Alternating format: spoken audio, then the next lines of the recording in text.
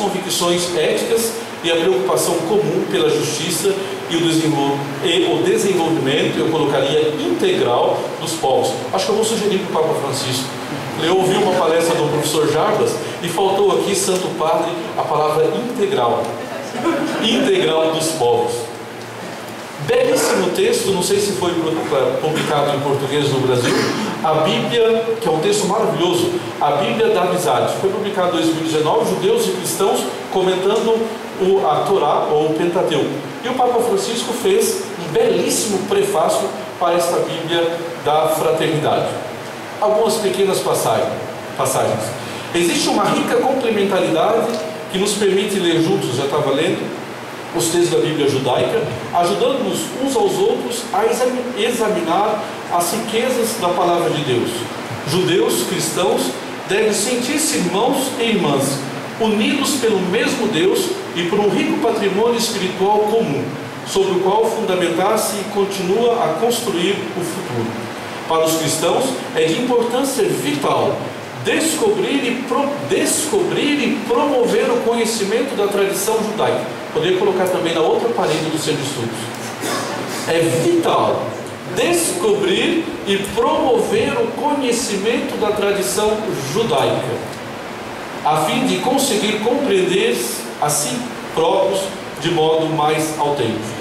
Também estudo da Torá, para os formandos, o Papa não usou nomos, não usou lei, usou Torá. Para é, também estudo da Torá, faz parte deste compromisso fundamental. Por isso desejo confiar, e o Papa cita uma belíssima oração que os judeus rezam. Centralidade da palavra de Deus, vocês viram que a fundamentação ou a legitimidade que a igreja nos dá para os trabalhos que nós fazemos no centro estudos e para a nossa vocação como congregação Sion, os textos estão aí. Mais claros, impossíveis. Eu imagino uma faculdade de teologia, com os professores que aqui estão, os textos também estão aí. Segunda parte, mais rápida.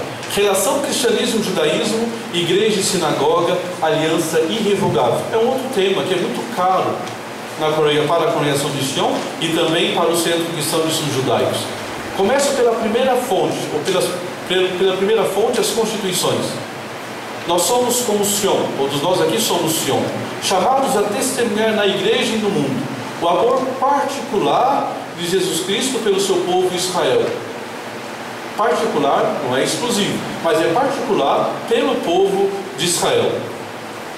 Vou citar o padre Teodoro, um dos nossos fundadores. Não vou poder ler todo o texto porque o tempo está passando, tem ainda alguns minutos. Mas o, o padre Teodoro, em 1852, ele é, escreveu o seguinte: depois você lê o texto o, o, inteiro. Se Deus tem uma preferência por este povo, o povo judeu é que ele descende de Abraão. Nosso Senhor quis nascer da sua raça. É interessante como o padre Teodoro e o padre Afonso, como é que eles tratam a própria judaicidade deles, os dois sendo judeus. Deus, para ele é claro, nós não estamos no Concílio Vaticano II. Nós estamos bem antes, 100 anos antes do Vaticano II, e aí eles tratam as questões. Voltar às nossas fontes para dizer nós temos uma legitimidade dentro da congregação que é histórica, vem dos nossos fundadores.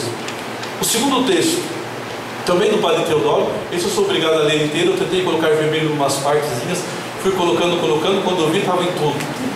Porque é o mais belo texto, irmã Zezé, a meu ver, do, sobre a nossa vocação em Sion, texto do Padre Teodoro. Ele estava escrevendo para as irmãs de Sion.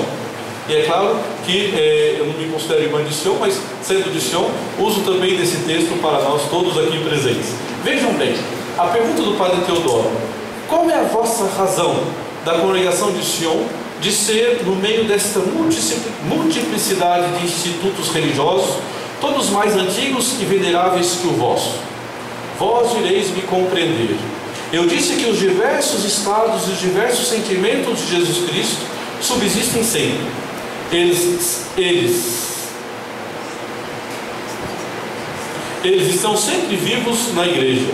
Ora, entre estes sentimentos, há um dos quais vós sois os depositários. Nós somos depositários de um dos sentimentos do Cristo. Qual? Quero falar do amor de Jesus Cristo pelo povo de Israel. Nós somos depositários, os herdeiros, os herdeiros. Transmitir o amor de Deus, o amor de Cristo pelo seu povo, o povo de Israel. Ele quis, diz o padre Teodoro, nascer deste povo. Sua mãe era uma filha de Sião, uma judia. As santas filhas da Galileia, que o seguiram durante sua vida e o consolavam nos dias de sua morte, eram todas israelitas.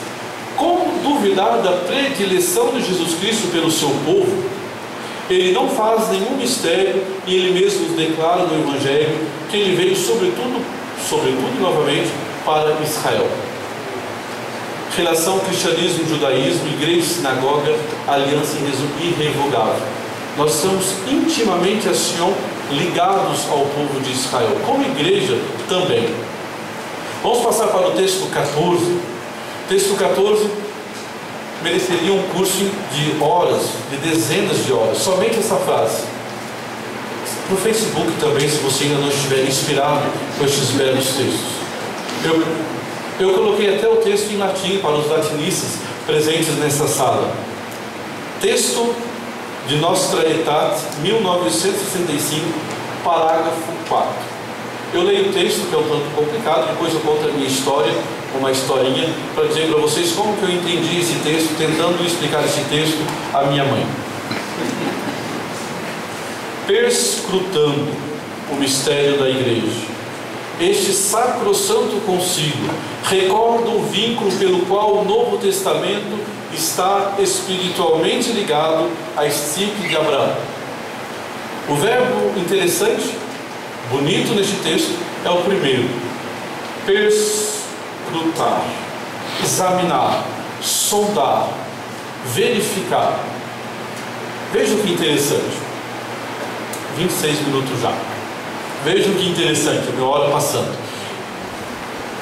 Um dia a igreja, por volta de final dos anos 50, mais ou menos, desse nosso século, do século passado, a igreja estava fazendo uma organização na sua casa. Ela estava organizando um pouco, tinha muita bagunça, não sei o quê, e ela resolveu organizar a sua casa. Colocar as coisas no lugar, verificar os arquivos, e ela estava mexendo numa caixa de papelão, e dentro dessa caixa de papelão ela encontrou o seu passaporte antigo, dois mil anos o passaporte da igreja, dois mil anos, completamente empoeirado esse passaporte. Ela abriu o passaporte e ela falou assim: Não acredito, não. Perscrutando, examinando o seu passaporte, ela disse: Como foi possível eu me esquecer que eu estava, que eu sou ligada, estou ligada à estirpe de Abraão? Dois mil anos depois, estou exagerando um pouquinho, ela abre o passaporte, ela diz: como que pode? Ela não está verificando a identidade do outro, ela está se descobrindo, ela está verificando a sua própria identidade. Quem sou eu, igreja? Ah, eu sou ligada à estipe de Abraão. Minhas raízes, se eu traduz de outra maneira, são judaicas. Relação cristianismo e judaísmo, igreja e sinagoga. Eu não gosto de judaísmo, não. Eu também não gosto de judeu tem que procurar uma outra religião. Eu tenho uma lista, inclusive, caso alguém se interesse. Cristão significa cristão significa estar ligado à estirpe de Abraão. Não tem como. Hoje você sabe disso, se você ainda não sabia. E você se torna responsável disso, de transmitir isso na catequese, na faculdade, na escola, na crisma aqui lá em Mauá. Nós nos tornamos responsáveis. A igreja se redescobriu, recorda, recorda. Ela, ela sim, ela só está recordando, olhou o passaporte.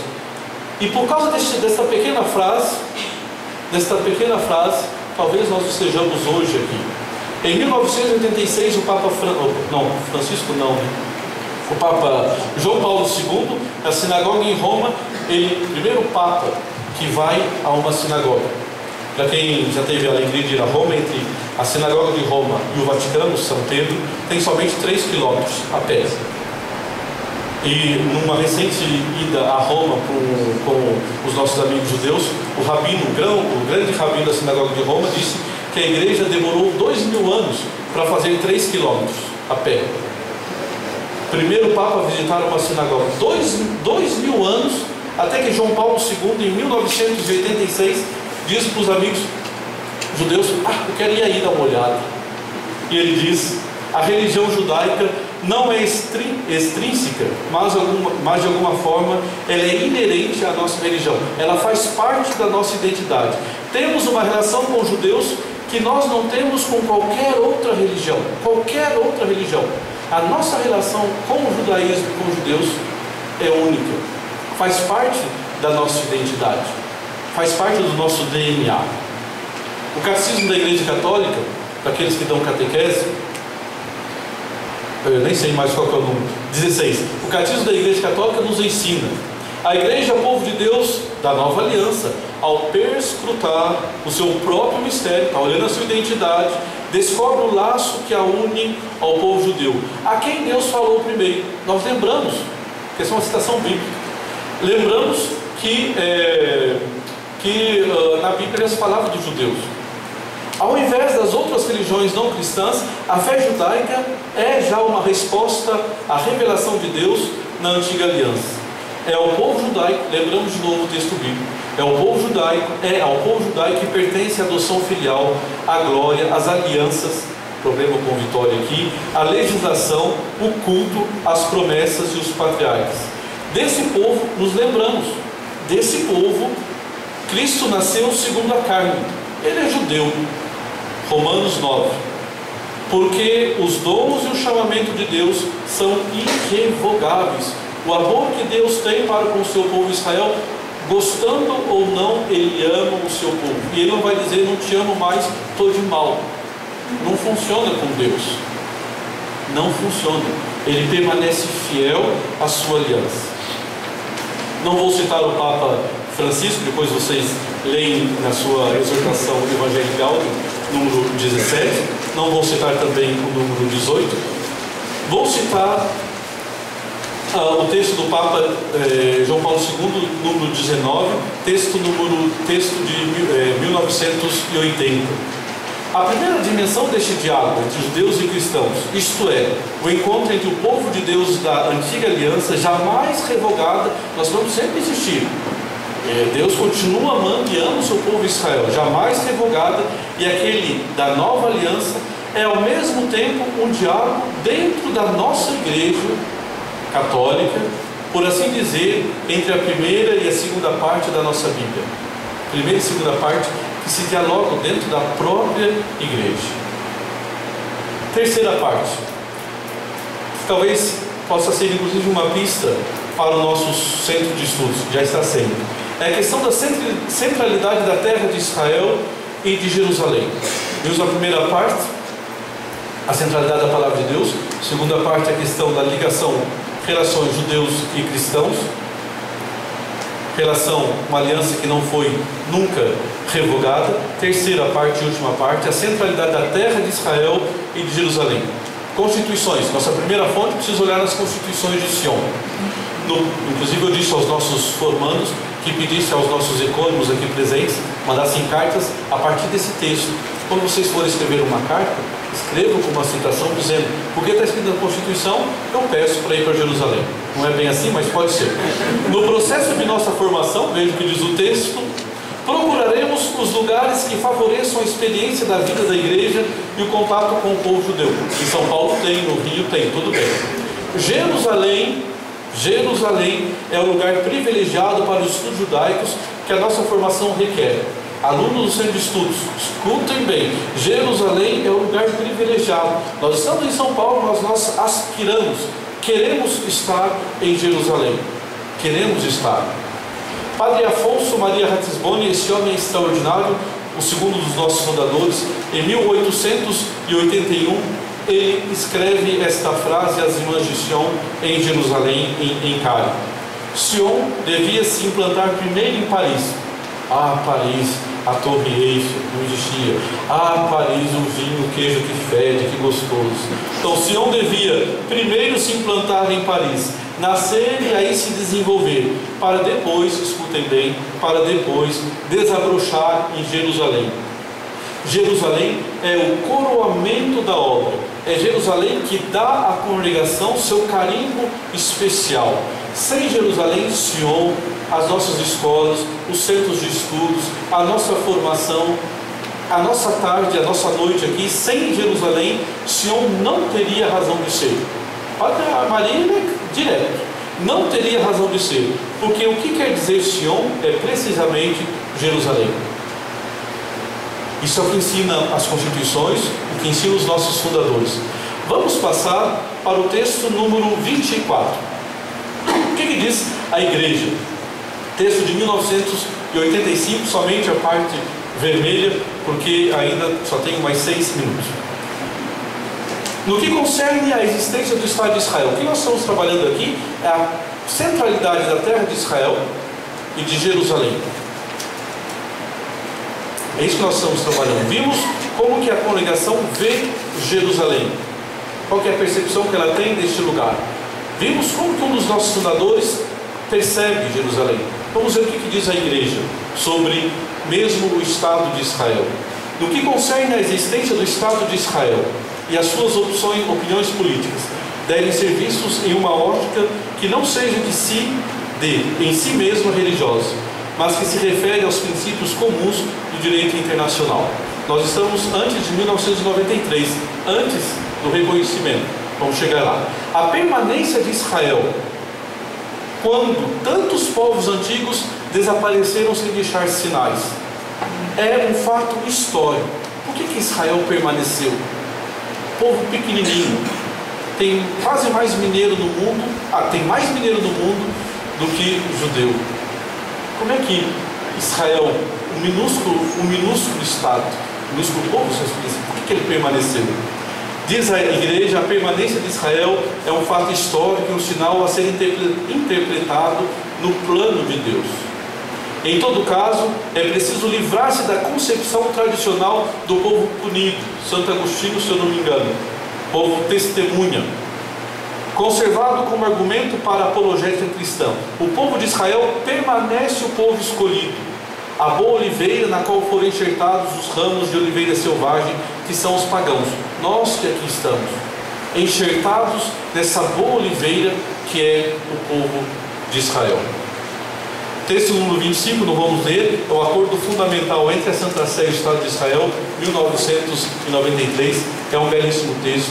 Texto número 26 das Constituições, eu preciso ler, porque é, tenho a impressão, professor Jarbas, que esse texto é único das Constituições das congregações religiosas. Nós reconhecemos, diz os religiosos de Sião, portanto nós que aqui estamos todos, nós reconhecemos que o laço com a terra de Israel é parte constitutiva da identidade judaica compreendemos que os valores espirituais da tradição de Israel não podem ser separados das condições concretas, geográficas e políticas nas quais vive o povo judeu. A existência do Estado de Israel não pode, portanto, ser isenta de significação espiritual e religiosa. Essa existência suscita em nós compreensão e simpatia, assim como o desejo que seja pacífica entre Israel e seus vizinhos árabes. Ela nos convida a ler os sinais do tempo é fundamental. A terra de Israel, assim como Jerusalém. Vou terminar, entro na minha conclusão.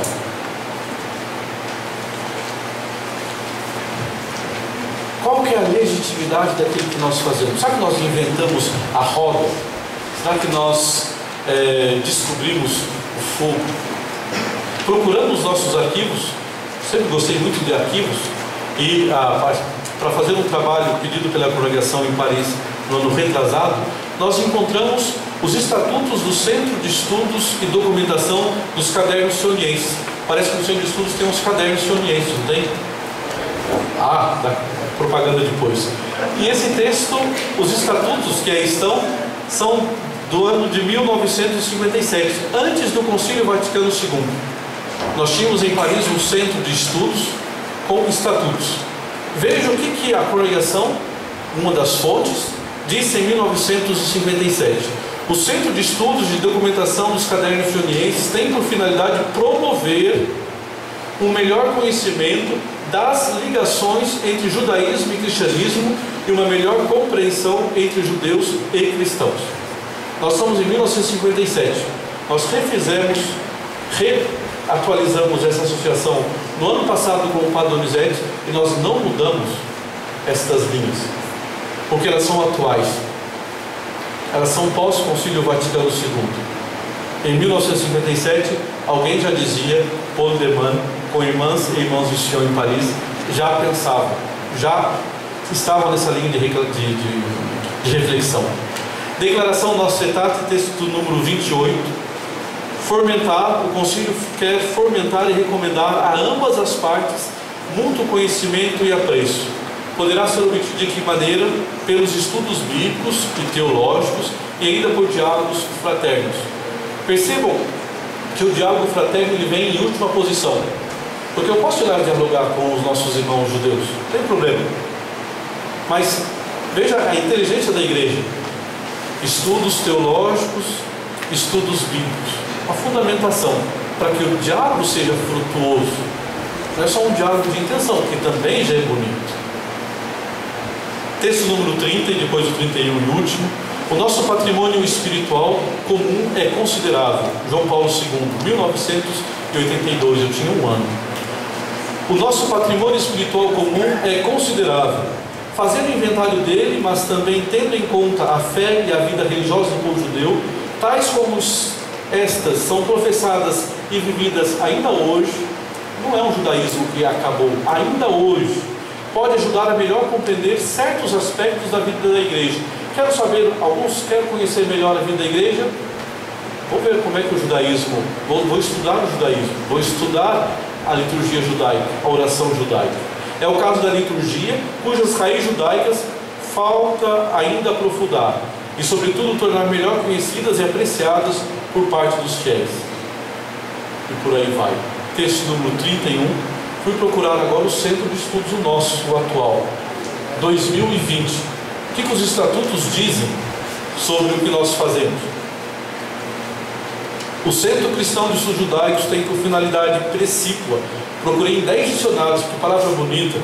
Precípua, principal, fornecer e executar. Fornecer e executar, especialmente para os cristãos, programas de pesquisa e ensino, direcionados ao conhecimento e estudo da tradição religiosa de Israel a partir de suas fontes, oração, comentários das escrituras, Midrash, Mishnah, Talmud, História, por aí vai, para com isso favorecer a aproximação, o diálogo e o apreço mútuo entre a igreja e a sinagoga.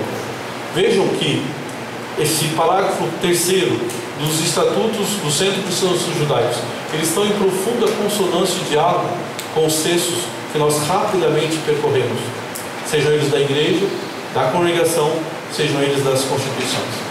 Termino com uma imagem, duas imagens. Essas imagens que vocês seguramente conhecem sempre me impressionaram. Eu as descobri eh, em dois lugares na França, em Estrasburgo, este da, leste da França, e também em Paris, na famosa Catedral Nossa Senhora de Paris. Tem essas duas imagens, essas duas estátuas, que representam a sinagoga e a igreja. Nós somos na Idade Média, século XII mais ou menos, 13 por aí. Vejam que interessante. Do lado esquerdo de vocês, do lado esquerdo de vocês, está a igreja. Vejam como que a igreja é representada. Bonita, esbelta, com o seu. Como chama esse negócio? Seu cetro real, imponente. Olha a delicadeza da imagem, as pernas dessa igreja, que bonitinha. Ah, Clérison, você que é escultor, artista, linda essa imagem da igreja. Do outro lado, nós temos a sinagoga. A igreja é a sinagoga. Veja como que a sinagoga, se ficar de pé que eu não estou vendo mais nada. A sinagoga é representada. Observem o cetro da sinagoga. Quebrado. É a teologia da substituição, passa por aí. Observem na mão direita e esquerda para vocês, na mão direita da sinagoga a Torá, os cinco livros da Bíblia, abaixados, já era. Vou pedir para o Padre André avançar a imagem porque eu dei zoom, senão a gente não vê direito. Observem a cabeça da sinagoga, representada na Catedral Notre-Dame de Paris, Paris, uma serpente que cobre os seus olhos, cega. Assim que nós vimos a sinagoga. Observem novamente a, a, as tábuas da lei, da Torá. A Torá. Observem a coroa da sinagoga no canto do lado direito caída. Ela perdeu. Ela já não mais tem, tem, tem o seu lugar, o seu espaço. Mas como dizia esse grande rabino da França, grande rabino da, da, de Roma, para nós na Itália, ele dizia que a igreja levou dois mil anos para fazer três quilômetros. A última imagem que eu gostaria de mostrar para vocês essa noite é esta. Olha onde nós estamos. Um pouco de atraso, talvez, mas onde nós estamos? Nós estamos em 2015, sinagoga e a igreja, no nosso tempo, nos Estados Unidos, e essa é a representação. Tem a impressão que isso que representa e o trabalho do centro de estudos e da congregação e da igreja, deveria ser da igreja. Vejam a sinagoga do lado direito, do, do lado direito com a Torá aberta. Olha o olhar, olhem o olhar da igreja, o olhar delicado que dá uma espiadinha dizendo: o que será que está escrito aqui? O que, tem nesse negócio aí que eu, que eu não sabia, que eu não, nunca abri, que eu abri pouco? Olhem o olhar das as duas com coroas, evidentemente, com as coroas. Olhem o olhar da sinagoga, que parece que está dizendo assim: será? Será que vai ser possível? Será que, que a igreja vai, vai realmente abrir, vai, vai redescobrir, recordar a sua própria identidade? E enfim, olhe os vestidos, como se chamam vestidos, ou as túnicas da sinagoga da igreja não dá para distinguir de quem é a, a túnica. As duas estão aí. Vocês, que nós, como Sion, nós possamos, no fundo, vocês viram dois mil anos. Nós temos dois mil anos para frente como centro de estudos e como congregação de Sion, para transmitirmos nas escolas, nas paróquias, nas universidades, na formação, para transmitir esta igreja e essa sinagoga que se sentam, são capazes de sentar juntas e de trabalhar o mesmo texto. Obrigado.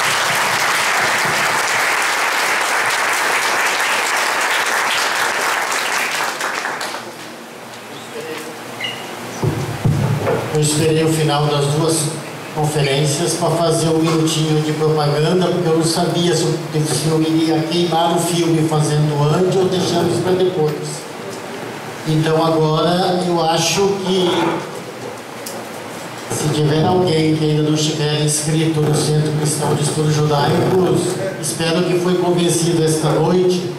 Temos cursos de extensão e de pós-graduação em cultura judaico-cristã, história e teologia, sagradas escrituras, às quartas-feiras à noite, aqui nesse espaço.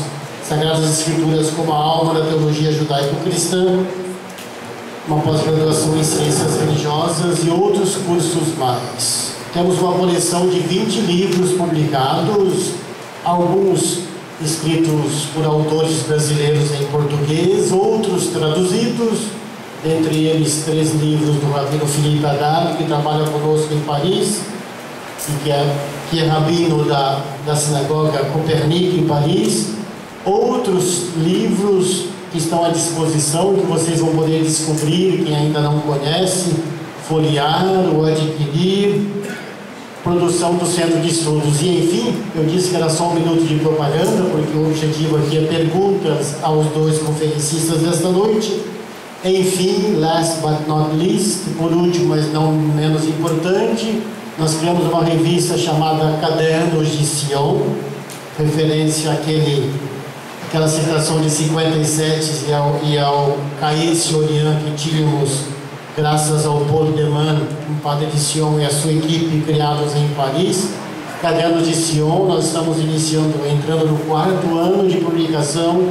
O, eu acho que ele está também disponível, mas ele está de todo jeito disponível online no nosso site ccbj.org.br. O último número foi coordenado pelo Rabino Leone sobre o Rabino Yeshua Reger. E o próximo número, estou olhando diretamente aqui para ele, nosso coordenador deste número, Matias Grenze, professor da PUC, tivemos uma série de conferências aqui no ano passado, Bíblia e Ecologia, a partir dessa temática e a partir de outros, outras conferências e outros autores, tenho certeza que vamos elaborar um excelente número, que será o próximo, sobre Bíblia e Ecologia. E outros números estão programados para o segundo semestre e assim por diante. Eu e o professor Jarbas somos os editores, a cada número tem um coordenador da, do tema, do número, e vocês, alunos, professores, estão convidados a escrever nesta revista. Uma das maneiras é conclusão de um curso de pós-graduação. Antigamente se fazia um grande TCC, fala aqui sobre o controle do pedagogo. Hoje dá para fazer 15, 20, 25 páginas no máximo, em forma de um artigo de qualidade para a revista. Propaganda feita, questões. Padre José Maria, professor Jarbas, a palavra está, digamos, aberta. Quem gostaria de refletir, perguntar, questionar, educação católica integral. Vou começar provocando o professor Jarbas. Será que dá para ser integral quando a gente às vezes é desumano? Nossa concepção do humano é, é como se a gente nascesse pronto. Nasceu, já é humano e ponto final. A educação católica integral é um processo. E nesse processo eu humanizo, eu, eu desumanizo, humanizo novamente como integrar essa dimensão da humanidade na sua realidade intelectual, psicoafetiva, social. O mundo hoje, onde parece que tudo está em crise. O Papa Francisco fala de crise antropológica, outros falam de crise ética. E quem fala de crise ética fala de desumanidade. Onde está o integral em tudo isso? Eu disse que eu era um pouco provocativo, isso é para iniciar a conversa. Pense em outras perguntas ao Padre José Maria, ao professor Jarbas, por favor. Ah, essa observação do Padre Donizete daria outra conferência. Né? Então, vocês me dão mais 45 minutos aí, né? Bom, é, é, eu diria o seguinte. É, em primeiro lugar, quando a gente fala de educação integral, a gente está falando de é, uma educação que entenda o sujeito na sua, em todas as suas dimensões, como eu falei um pouco antes, né? É, a escola, às vezes, ela privilegia o desenvolvimento intelectual e abandona as outras dimensões que são constitutivas do ser humano. Além disso, eu acho que a gente tem que pensar numa educação integral que envolva não só o estudante, mas que envolva também a família e que envolva também a comunidade local onde está inserido esse aluno.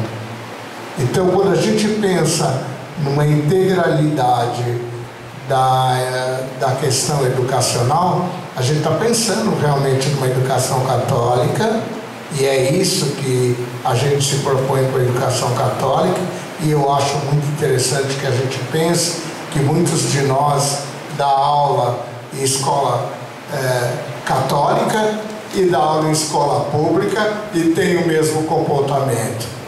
É diferente.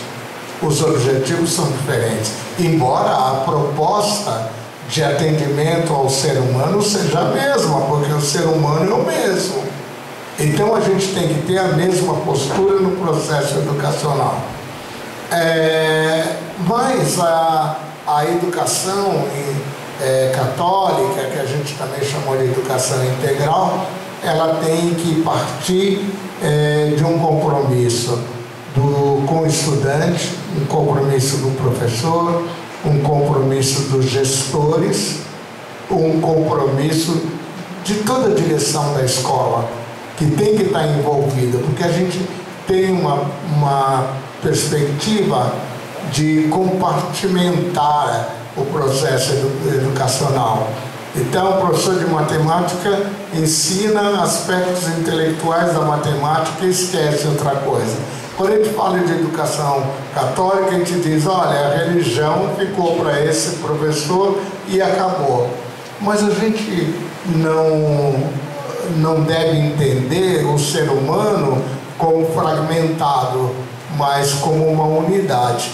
E eu acho que aí é que está o grande desafio, da gente olhar o ser humano como um sujeito integral e um sujeito que precisa ser entendido em todas as suas dimensões e que deve compactuar também com a dinâmica da família, de onde ele vem, do espaço local onde ele está inserido e também dos outros elementos que compõem a, o espaço educacional. É, eu, eu diria, quem é que está no espaço educacional? Desde o pessoal da, da segurança, da faxina, da gestão, todos estão comprometidos no processo educacional. Quando a gente tem uma unidade assim, e isso deve estar registrado no projeto pedagógico, o projeto pedagógico, ele tem que espelhar essa dinâmica. Não é uma coisa que a gente diz, vou fazer aqui hoje e amanhã. É o projeto pedagógico é que se caracteriza por essa dinâmica. Aí a gente tem uma educação totalmente diferenciada. Por isso que eu acho que é, no começo do ano, quando a gente está fazendo o planejamento, que a gente está mudando as propostas pedagógicas, é o momento da gente olhar com uma forma diferenciada para aquilo que a gente quer para os nossos espaços educacionais e a gente se colocar muito mais comprometido com uma educação realmente integral.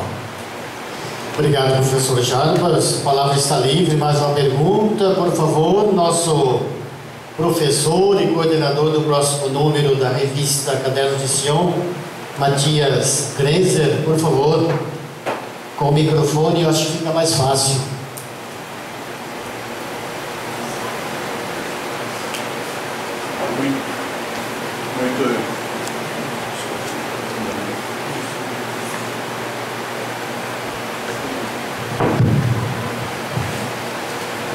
Muito eu agradeço e foi muito bom ouvi-los. Mas eu queria abrir mais uma janela. Educação católica, muito foi destacado. De um lado, a dimensão antropológica, relacionar-se com o outro, e a dimensão teológica relacionar-se com Deus. Pessoalmente, penso que falta ainda uma terceira dimensão, que nós não existimos neste mundo como seres humanos somente em relação aos outros seres humanos ou em relação a Deus. Mas nós existimos neste mundo também em relação a todos os demais seres não humanos, que são ora os vegetais, ora os animais, ora os elementos que possibilitam toda a vida, o ar, a água, o solo, o calor. E penso que esta integralidade ainda precisa ser ou precisa envolver essa relação com os demais seres, aos quais pertencem autonomia, dignidade própria, independentemente do ser humano. E em vista da, do futuro da humanidade, creio que talvez já seja uma das questões mais importantes não haverá futuro para ninguém de nós. Não haverá mais vida neste planeta Terra caso nós não nos relacionemos melhor e autenticamente de acordo com a palavra de Deus com todos os outros seres. Eu incluiria esta terceira dimensão, abriria uma esta janela também, não? Isso não invalida nada de tudo o que foi dito tão brilhantemente. Obrigado. Excelente, obrigado. O próximo número da revista Cadernos de Sion, Ecologia, Ecoteologia. Vamos precisar ler antes que a revista seja publicada. Precisamente nessa orientação que o professor Matias, que vai coordenar esse número, nos apresenta, acaba de nos apresentar nessa noite. Mais uma pergunta? Nosso centro de estudos, dos nossos professores, por favor. Tudo bem? Boa noite a todos, a todas. Muito bom estar aqui. Professor Jarbas Patres. O professor Jarbas fez uma provocação muito interessante. Ele colocou como sinônimas as palavras ou sinônimos, os termos educação católica e educação integral. Uma provocação interessante. Existe um documento fundador é, da educação aqui no Brasil que se chama Ratio Studiorum. É um conhecimento é, de conhecimento dos católicos, das pessoas que estudam educação no Brasil, de que a educação é, católica fundou o modo de educar no Brasil, em várias partes do mundo. Eu me lembro bem, como professor de literatura durante muito tempo, que os, uh, os textos dos padres uh, que escreveram e que participaram dos processos de catequização, né? Estou lembrando de Padre Manuel da Nóbrega, Padre Anchieta, enfim, uma, uma porção de padres que eh, versaram eh, no campo da educação muito com teor crítico é, sobre a igreja, sobre a pregação, sobre o modo de ser católico é, e como que os leigos, como é que as pessoas é, deveriam lidar é, com a palavra de Deus, com a igreja e com o modo de ser católico. Mas, é, de certa maneira, eles sempre fincaram muito forte é, marcaram muito forte que o jeito de educar católico é este, que o jeito de uma escola católica é este, que os, as diretrizes, uh, o modo de ser é este. E eu percebo, uh, e, não é, e não sou apenas eu, mas há uma linha uh, de análise recente, que as escolas católicas elas têm dado lugar a, a, a, uma, a um modo de pensar muito laico, é, no sentido de absorver características de outras escolas mais comerciais para ganhar campo e perdendo com isso a sua identidade. Eu, é, sinceramente, independentemente da, confissão, da confissão de fé, é, uma vez que a escola, a instituição opte por determinada linha de pensamento, de, de filosofia ou de é, confissão, ela tem de estar marcada 100% por aquilo que ela acredita. E aí vem a minha pergunta, professor. É, a, a, educação católica, ela está necessariamente clara que nesse viés que o senhor apresentou, o padre José Maria fez o recorte com as fontes é, que baseiam o modo de ser dos, é, da, do carisma de Sion, mas aí a pergunta que fica é: a, a educação católica está clara como conceito e como diretriz, mas a escola católica, como ela deve fazer para se, eh, para voltar a se marcar como tal e não se render ao, a, a formas mais comerciais eh, de ser como escola? Como é que ela não, não deixa eh, que suas marcas fiquem é, aparentes e explícitas, apesar de, de haver controvérsias e dizer, puxa vida, mas está muito católica, tem muita missa, tem muito padre, mas pera lá, é uma escola católica, haveria então de ter padre, de ter freira, de ter. Então, a minha pergunta vai nessa direção: como é que as escolas católicas elas deveriam caminhar para se firmar como tais? E, e com isso é, não ficar com receio de perder alunos, pelo contrário, pela firmeza de sua, é, é, é, de sua intuição, de seu carisma e de sua marca, ganhar e não perder? Essa é a minha pergunta. Obrigado. Excelente pergunta, professor Jarbas, Padre José Maria, professor Rudney, que ensina no nosso centro de estudos. Se você me permitir, do meu jeito duro, assim, cru, eu diria, você fez uma crítica profunda, dizendo, no fundo, é, a educação católica não está muito católica. E ela se diz integral e está perdendo o que ela tem de integral. Seria isso, professor Jarbas, do Padre José Maria? respondo rapidamente, passo a palavra para o José Maria. Eu diria o seguinte: é, a igreja, a, aliás, a educação é uma questão muito cara, cara à igreja. Nós temos vários documentos da igreja que tratam da questão da educação. Então, a educação é uma questão muito é, cara mesmo à, à, à igreja.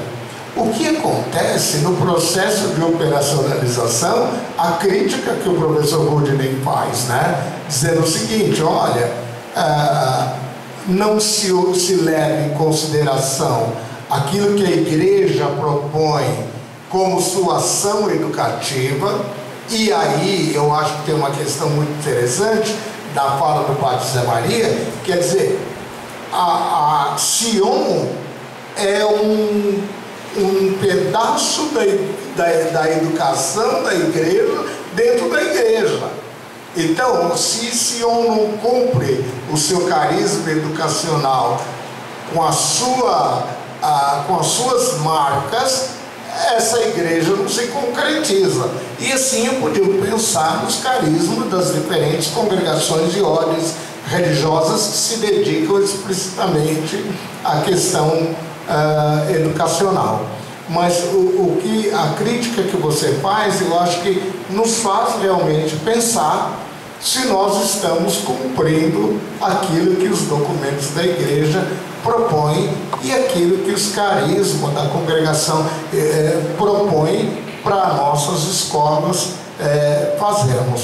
Eu estou muito satisfeito eh, de que eh, esse ano nós tivemos um encontro, as escolas de Sion, e agora um outro momento de reflexão com todos os professores da escola, das escolas de para refletir um pouquinho sobre essa questão educacional. Evidentemente, precisaria ter um acompanhamento do projeto pedagógico para verificar se o projeto pedagógico foi alterado em função dessas coisas que nós estamos discutindo, porque muitas vezes a gente discute muito e não coloca eh, em prática essas discussões. E aí é que eu vejo a crítica que você coloca.